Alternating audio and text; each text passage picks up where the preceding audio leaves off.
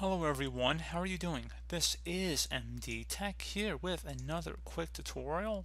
In today's tutorial, I'm going to show you guys how to go about resolving if you're having an issue with your Windows computer and it appears to be very slow after an update. So should hopefully be a pretty straightforward process guys and without further ado let's go ahead and jump right into it. So first thing I'd suggest would be to open up the start menu, type in services, Best match should come back with services listed right above app. So go ahead and left click on that. First, locate the background intelligent transfer service and double click on it. If service status says running, you want to stop it by selecting the stop button. You can see it's already stopped in my case, so I don't need to do that. And then once that's done, you'd select OK. And now locate the Windows Update service and double click on it. If service status again is running, you want to stop it and then you would start applying OK if any changes were necessary. Once that's done, you will close out of here.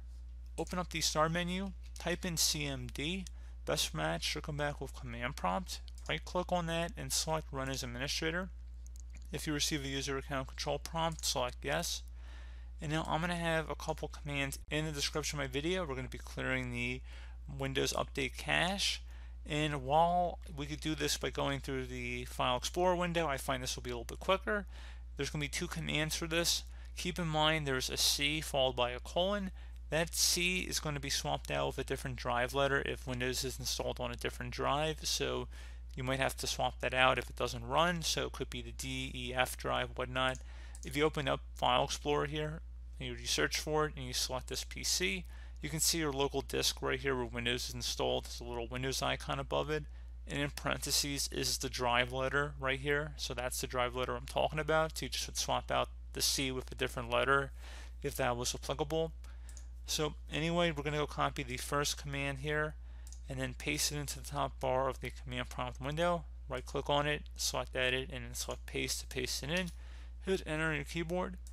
And then we're going to do the second command here. So just copy that, right top bar of the command prompt, edit, and then paste it in, hit enter. So once that's done, close out of here, open up the start menu, type in troubleshoot. Best result should come back with troubleshoot settings. Go ahead and open that up. Select additional troubleshooters, and then select Windows Update, resolve problems that prevent you from updating Windows, and select Run the Troubleshooter.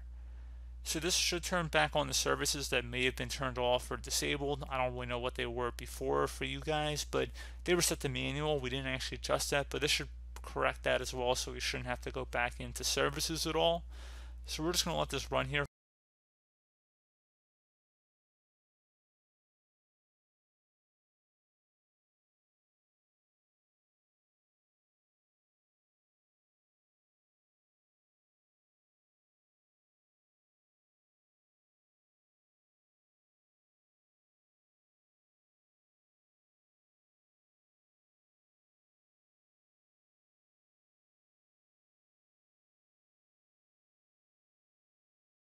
And once it's done, we're going to go ahead and just select close. With just going, clicking this back button right there and try and run a Windows update and check for updates and see if that is able to resolve the problem. Hopefully it'll be able to check for updates without issue at this point. So as always, thank you guys for watching this brief tutorial. Do hope that I was able to help you out and I do look forward to catching you all in the next tutorial. Goodbye.